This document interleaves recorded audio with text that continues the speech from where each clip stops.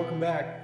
You know, uh, my video today was supposed to be putting the firewall, um, the master cylinder on the firewall, you know, right here. Remember I shown you last video and uh, guess what? Back ordered. Really? I need it now.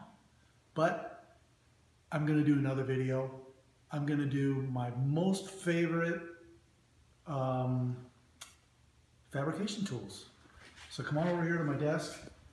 And I'm just going to go down the list and show you some of the my most favorite tools and why I think they're important and why I think that you should have them. So the number one, I guess, number one tool that I use the most is what's called an alignment punch. They come in a set of like 29. They're like under 10 bucks. And one side has a point on it. The other side is for hammering. And um, so what you do is like, let's say I had this steering column bracket here and I wanted to mark the holes because I wanted to bolt it to a bracket, something like that. So I'd find the punch, just kind of eyeballing here to see. And, yeah, look at there, I got it right on the first deal. anyway, you slide it in, hit it with a hammer, more to the other side, tap it with a hammer.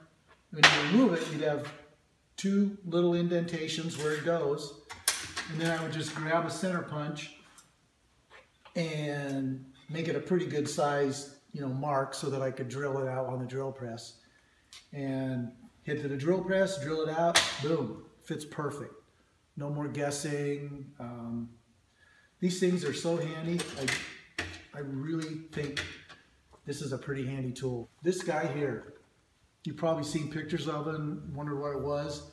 It's a gauge for sheet metal and metal thickness. It allows you to really quickly take a piece of metal, whatever it might be, and if you want to know the thickness of it, you just find the place where it fits really nice and 21 gauge. Now if I'm making a patch panel for my truck, say for example, let's say I wanted to fill this hole over here up, which I probably will anyway. And I was curious, gosh, I wonder what size metal I need for that. So I take my gauge, I come over here, and just kind of do a little test fit until it fits in there. And look at there, 18 gauge. So now I can go to the metal shop, get some 18 gauge steel, cut it out, and I know that the thickness will match on both sides, so it'll be a perfect, perfect fit. So really handy tool, not very expensive.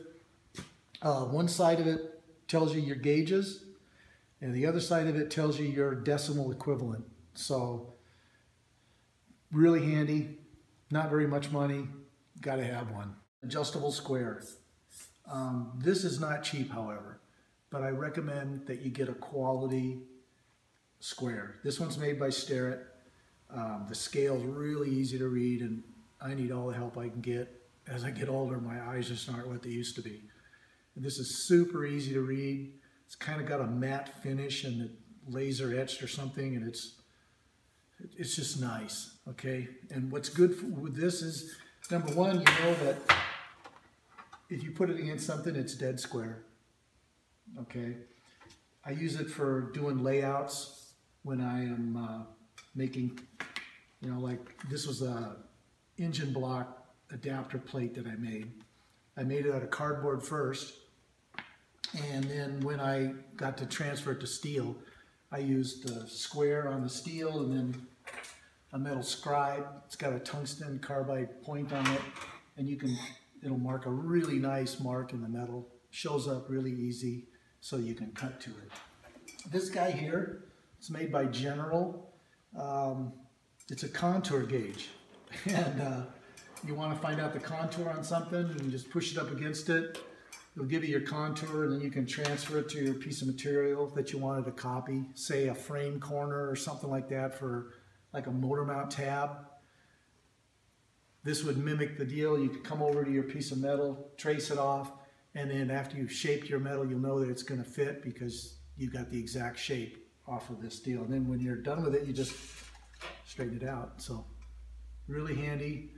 I don't think it's more than 10 bucks obviously Sharpies, black Sharpie and a silver Sharpie, depending on the color of the material. Like this stuff with the uh, the darker color steel it has a mill scale on it. I probably use the silver for marking.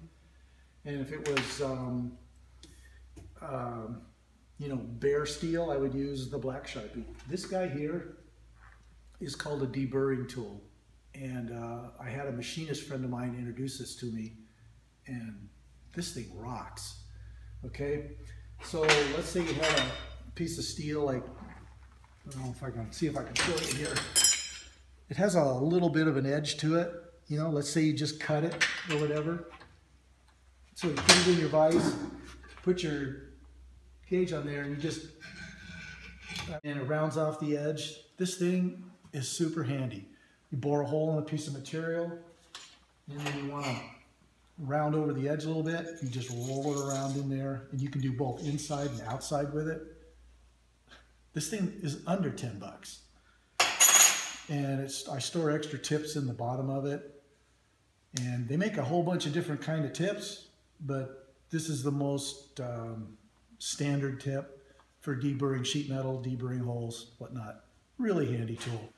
This it's so simple that you got to have it. It's a drill gauge. Okay, so let me, you know, you got a bolt, whatever the size bolt is, or a pin, like here's a pin here. And I go, gosh, what size hole do I need for that? So you just come over here, your gauge really quickly, and you go, oh, 5 sixteenths. Handy, really handy. You got a bolt and you want to find out what size hole you need, same idea. Oh, I need a 3 eighths.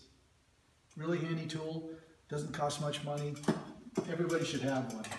An adjustable, um, gosh, what do they call these? I guess an adjustable angle finder. Okay, mostly people use them in woodworking, but I use it in metalworking a lot. And um, it allows me to find the angle on something, you know, like uh, I want to find out what the exhaust manifold angle is for the exhaust pipe that I'm going to build an exhaust system. So I kind of lay this part on the frame and, and figure out where I want it and then tighten this little wing nut. And then I can go over to the chop saw, transfer that angle to the piece of material that I want, and I know the angle is going to match and everything's going to work. Really handy little tool. Get the bigger ones. They make little ones and big ones. The big one's nice because it goes like on this frame here if you're doing something, you get the bigger one and it allows you to go to cover the whole thing, especially when you're doing an angle. If you get the short one, you know, it ends about here and you really want it to go the full length. So get the longer one. It's really handy. I love it. And again, it's not very expensive. I think Home Depot, 12 bucks or something. This is a cool tool. Let me show you this. All right, so let's say that uh, you're just going to drill a hole in some sheet metal and you find that little piece of metal that I had here. oh, here it is. Okay, so I got a piece of, this is a piece of aluminum. I don't know what size it is. Hey, let's take my gauge and find out what size it is. 16 gauge aluminum. All right, so put this in here. I'm to drill a 3 16 hole. Hey, I wonder what size this is. Take my drill gauge right here and I just find it and I keep trying until it Oh look, it's 3 16ths. Pretty handy tool. Okay, so let's drill a hole in here.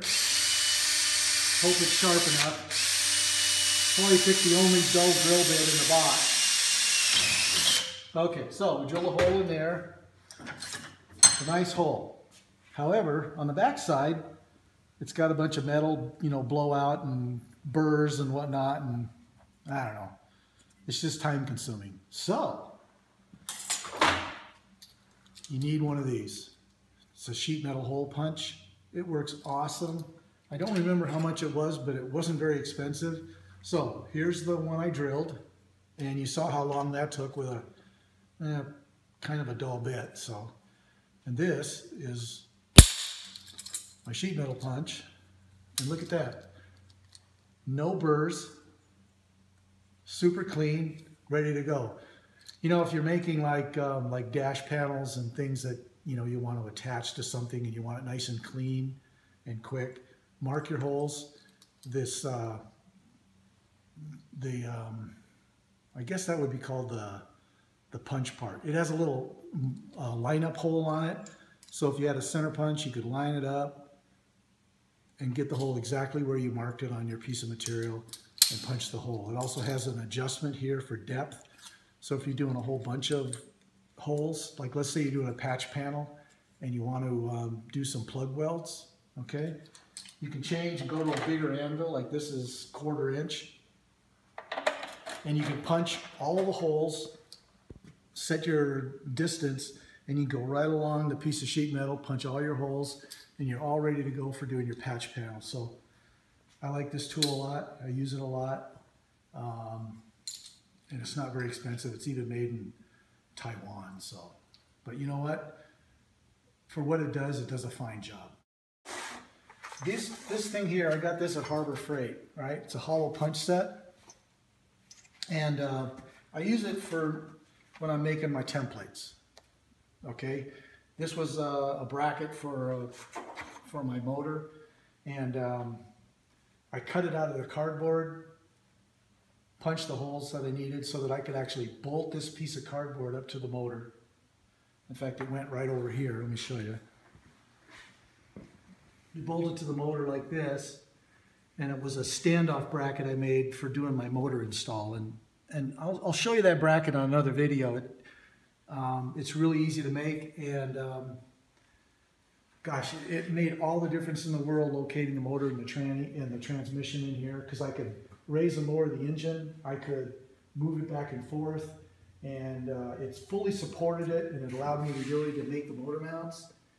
And uh, you know, hanging it off a cherry picker, that works, but it just rocks and moves around.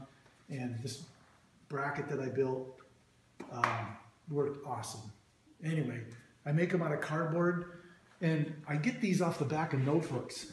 So, you know, I like to use everything. So I take this piece of cardboard off the back of these notebooks, cut my template out, trace it on, you know, with a pencil, cut it, do all the adjustments with a pair of scissors, punch the holes where I needed them. Once I'm happy with it, then I just transfer this to a piece of steel. So um, these transfer punches are really nice. I tried in the past, um, you know, poking a hole and cutting it with a pair of scissors and it just wasn't accurate enough. It, it, you know, you need a nice accurate hole so that when you actually build it out of steel, it fits. So these, uh, these punches are really handy. All right, well that kind of wraps up my favorite fabrication tools. I got more tools to show you down the road, but uh, those are my favorite five or six. I can't remember how many it was. Uh, listen, I'd really appreciate if you'd like my video. Um, subscribe. I got more videos coming. That way you'll know when they uh, when they come out. And uh, leave me some comments. I'd love to hear from you. If you got any ideas, or maybe I didn't answer a question for you, please leave a comment. Look forward to hearing from you. Till next time, Idaho Fabricator. See ya.